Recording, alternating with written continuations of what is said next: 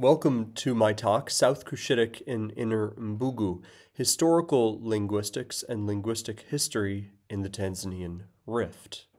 Let us begin on the road from Babati town to Arusha, which I've chosen for the view of the sheer escarpment, sometimes visible here to the left.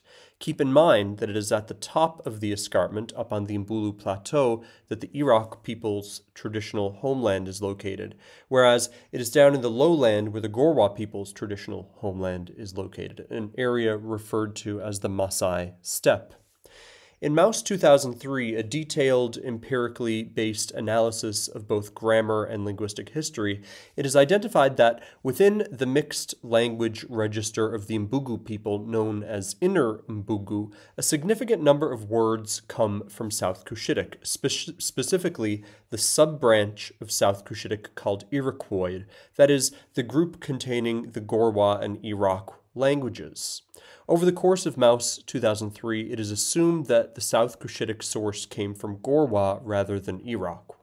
It is further hypothesized that this language contact took the form of Gorwa speaking people becoming incorporated into Mbugu society as the result of war, with the aim of exploring one specific and small scale element of the linguistic history of East Africa. This talk will examine both elements of this hypothesis. I'll start by establishing a few essential pieces of context, primarily about the Inner Mbugu language, as well as the nature of the proposed contact. With this in place, the talk will then examine the South Cushitic in the Inner Mbugu lexicon, examining if, based on this evidence, we can establish whether the ultimate source was Gorwa or Iraqw. Having examined lexical evidence, we will then turn to an altogether different kind of evidence, that of oral tradition, to try and answer questions about the social nature of this language contact. And finally, we will conclude. Before all of this, however, I'd like to say that a recording of this talk will be made available shortly after its live presentation, both on Zenodo at the DOI given, as well as on YouTube via the QR code on screen. To start, I'd like to provide a bit of context about who I am. This is a photo from back in 2015 of myself and Bu Sahware, a speaker of Gorwa, at a rock shelter talking about rock art. I'm a linguist interested in the languages of the Tanzanian Rift, their documentation and description, their morphosyntax, and the histories and cultures of their speaker communities, especially as evinced through linguistic arts and language contact. I've been conducting language documentation in this part of Tanzania since around 2012, and the speaker communities with whom I work primarily are Gorwa, Ihanzu, and Hadza.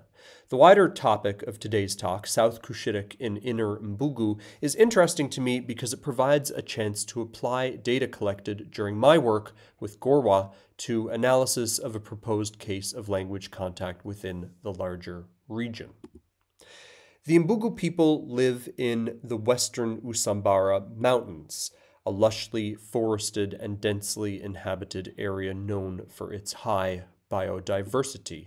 These images are from a hiking trip across the Usambaras I took as a 23 year old back in 2011 during the University of Dar es Salaam's spring break.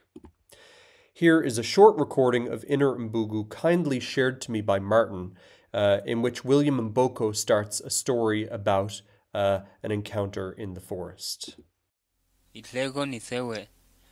William azeiwe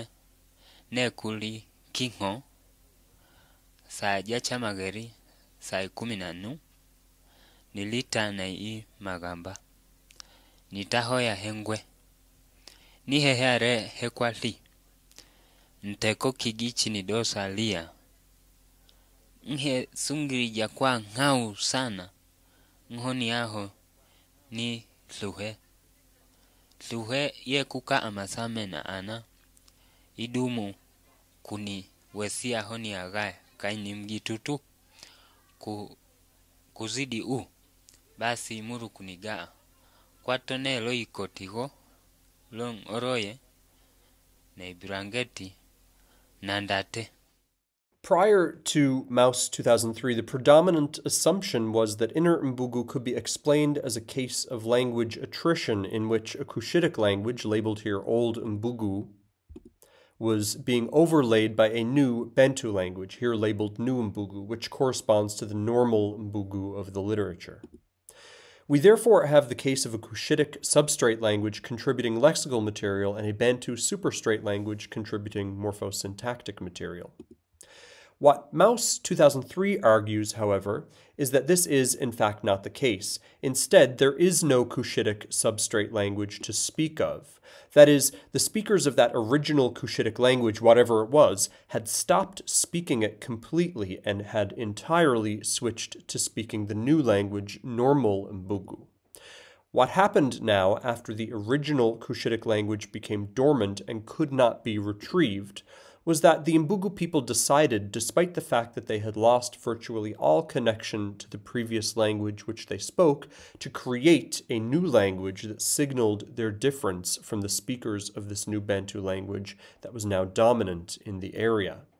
To do this, they used the resources that they had on hand, adopting lexical items from languages including the Nilotic language Masai, as well as Cushitic lexical material from at least three sources, and putting this new lexical lexicon on top of the morphosyntactic scaffold of the normal Mbugu that they had shifted to.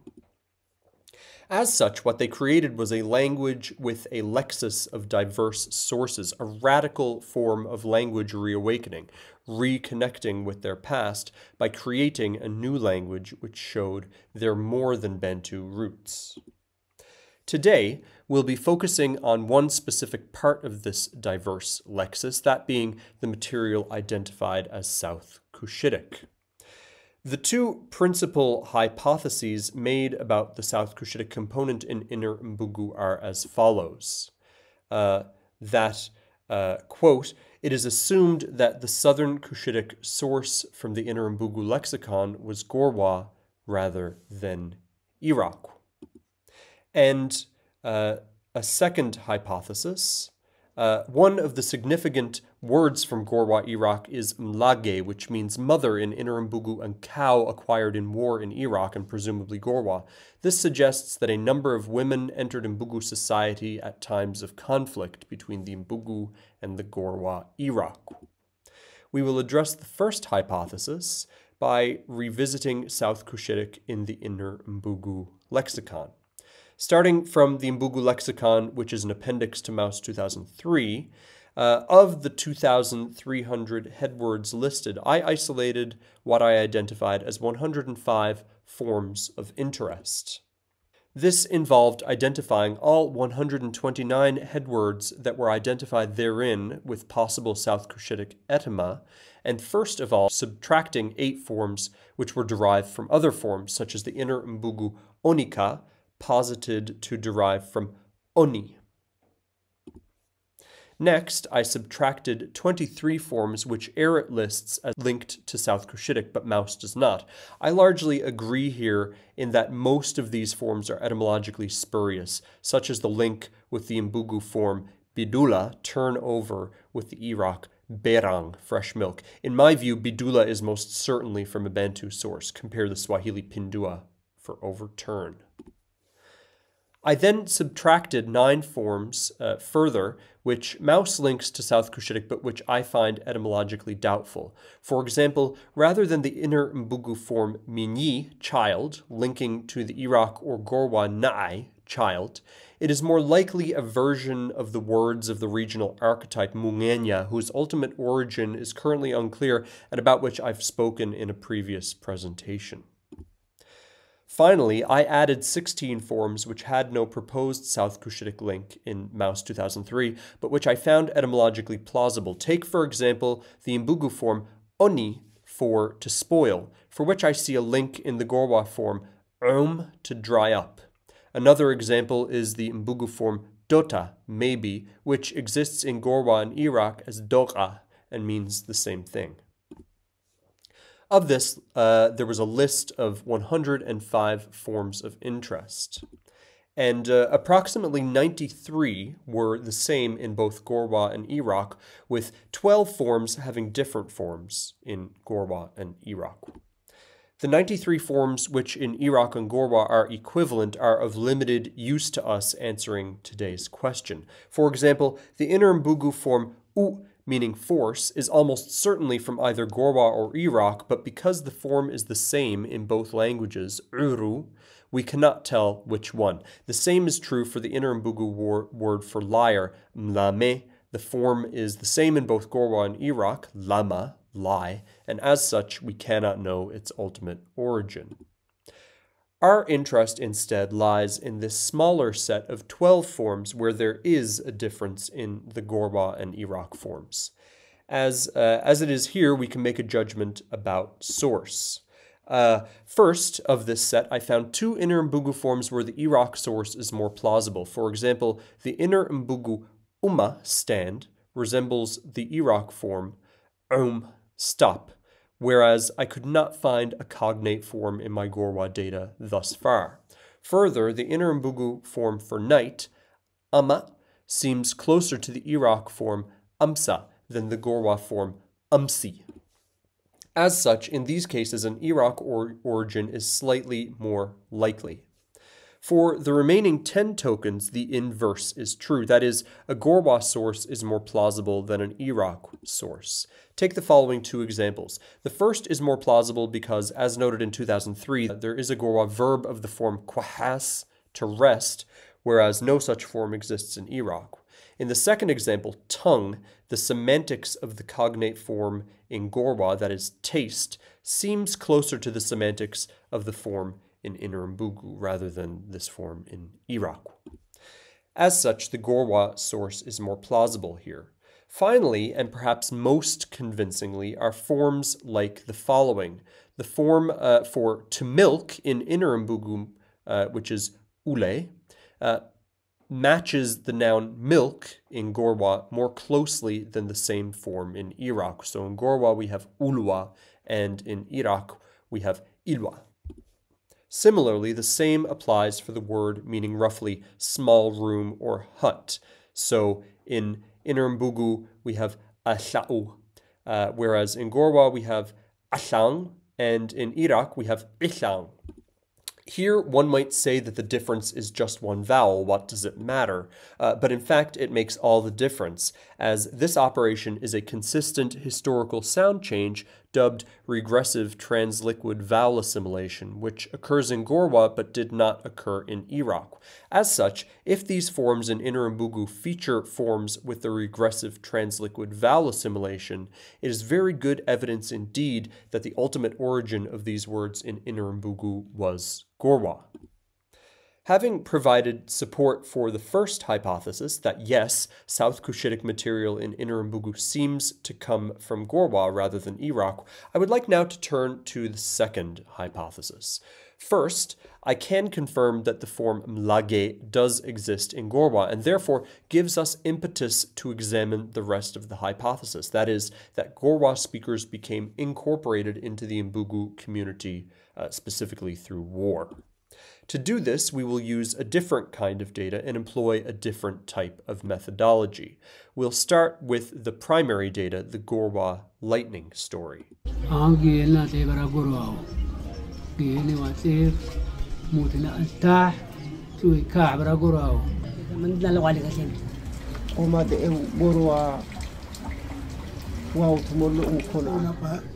Hmm.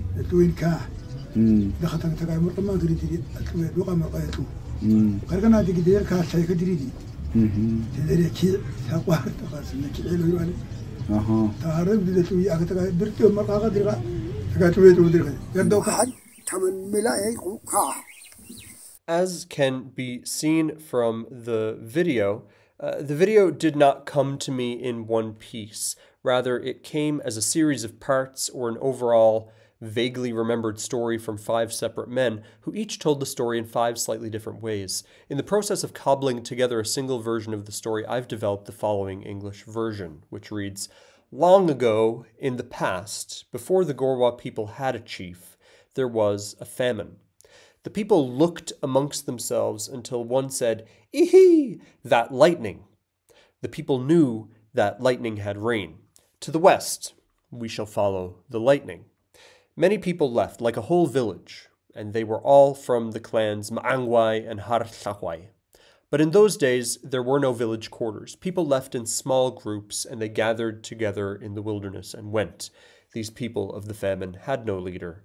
The hunger led them on. They walked and walked and walked, but there was no rain. They climbed the hill, and when they looked there, the lightning flickers wheats at the ridge of the next mountain. When they got there, the land was dry, so they continued ahead.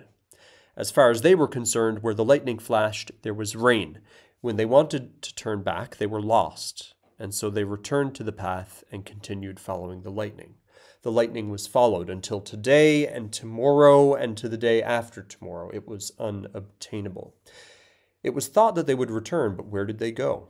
Where did they go? Where did they go?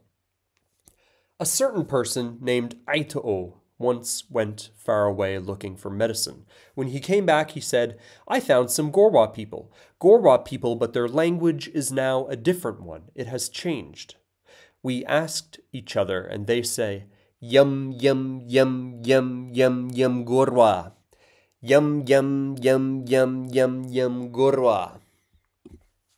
Using this version as a starting point, I'd like now to look at how it related to the second hypothesis we are examining, that is, that Gorwa speakers became integrated into the Mbugu community through warfare. I'll start with details that seem to militate against that hypothesis, and then data that argue in favor of it.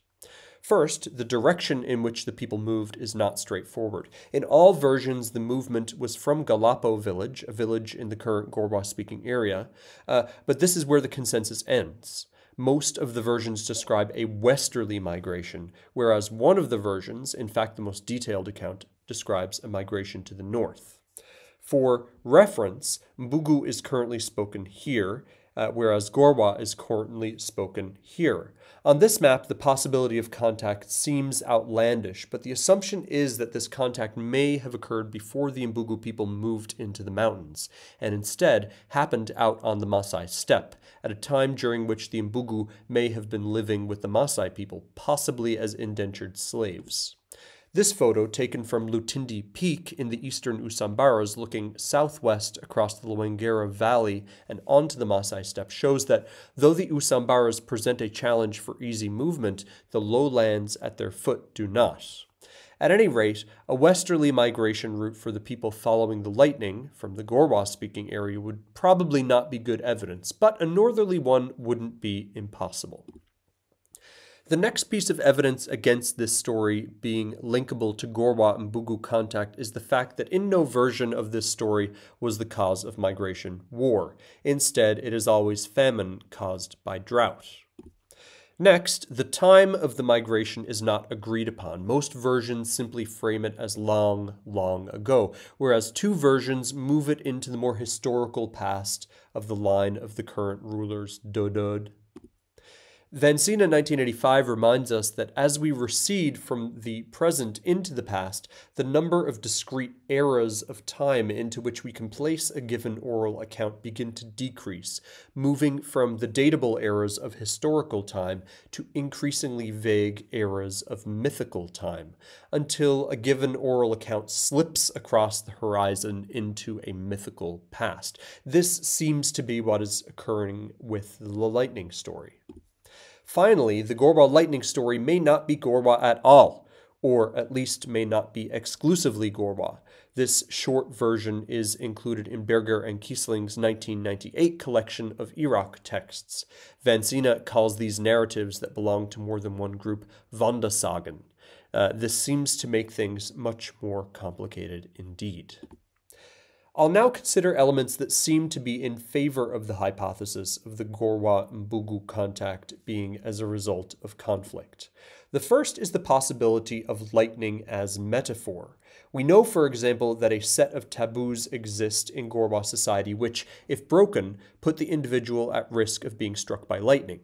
Additionally, the breaking of other sets of taboos can result in conflict, which, in many stories of the past, took its form in incursions by the Maasai people, who were feared throughout the larger region for their warlike nature and their propensity to steal both cattle and women. If the, if the Mbugu were living in indentured servitude to the Maasai, and if the Maasai are represented by lightning here, the irresistible pull of lightning in this story could very well be a way of encoding the coercive pull of the Maasai people enacted on the Gorwa people. Overall, our understanding of the concepts of rain, drought, and fertility in the region is poorly understood. I've linked to a talk which takes some initial steps to a regional understanding of this pluvial universe above. Perhaps, however, the piece of the story most amenable to the hypothesis of Mbugu Gorwa contact is the final part, which provides an image of a Gorwa traveler many years after the fact, encountering a group of people who say that they are Gorwa but can no longer speak Gorwa comprehensible to him. This is an enticing image, but then again, just the kind of evocative flourish that a good storyteller may build on to the end of a story to add some further depth.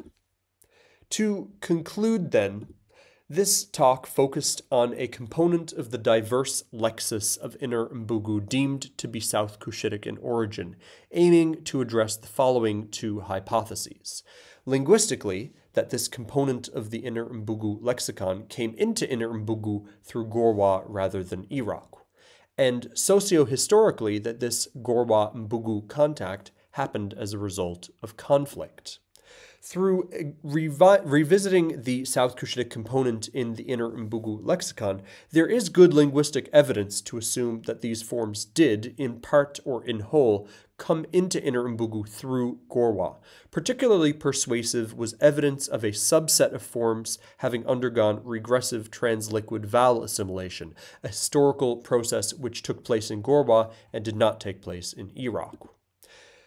Through studying a single Gorwa story, the lightning story, the evidence that this contact was in the context of warfare was harder to prove. Challenges associated with handling oral tradition as history are evident, but at the same time, hints of deeper metaphoric meaning offer tantalizing prospects for engaging in a more systemic study of the body of Gorwa linguistic arts.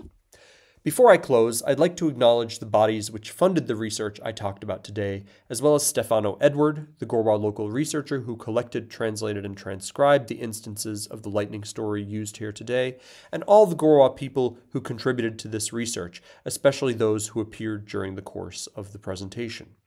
William Mboko, who was the voice we heard on the Inner Mbugu recording, as well as his father, Raphael Mboko, whose image we saw, uh, deserve thanks. And finally, thanks to Maarten Mous, the LHEAF uh, conference organizers, as well as all the members and hangers on who made this project so impactful over the past six years. Thank you, and here are my references.